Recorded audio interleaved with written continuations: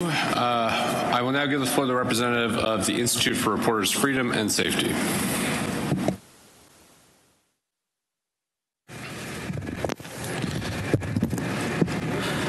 Thank you, Mr. President.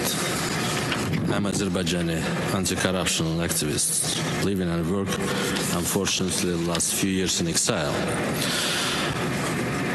We would like to address you today under this item to express our deep concern over the recent arrest of political prisoners from the civil society who have been detained for their involvement in anti-corruption activities. Individuals dedicated to noble cause of the fighting corruption, often at great personal risk, are being subjected to imprisonment and persecution. This raised serious concern about the persecution of human rights, freedom of expression, and the right to participate in civil society without fear of reprisals. Civil society plays a pivotal role in advocating for transparency, accountability, and rule of law. When individuals from civil society, including activists and advocates, are targeted and imprisoned for their anti-corruption efforts, it's not only undermines the principle of justice, but also stifles the very essence of democratic societies. Some brave anti-corruption fighters like Alexei Navalny and Vladimir Kara-Murza, despite the poisoning with the chemical weapons, still continued the anti-corruption fight in their country. Both are incarcerated now.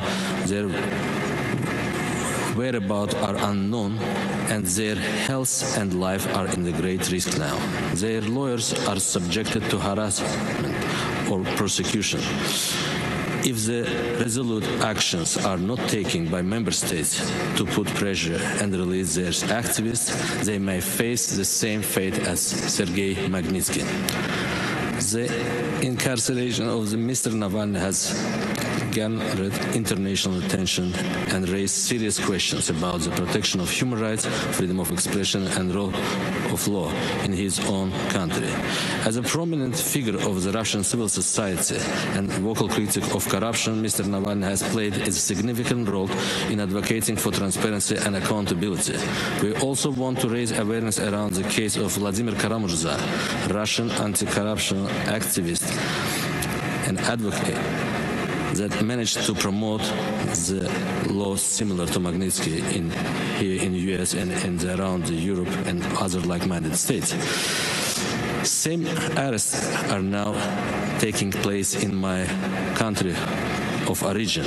These past weeks have been marked by arrests of dozens of journalists and anti-corruption activists that have been criticizing the government, among them our colleagues Hafiz Babalı, Sevinç Vagif Kızı, Gubad Ibadoghlu, Nargiz Absalamova, and many others. We urge the delegations of these countries to review these cases promptly, ensuring that the rights of those detained are fully respected in accordance with the international human rights standards. So far, the arrest of individuals who have been detained solely for their anti-corruption activities is sending a powerful negative message about these countries' commitments to uphold democratic values and protecting the rights of its citizens.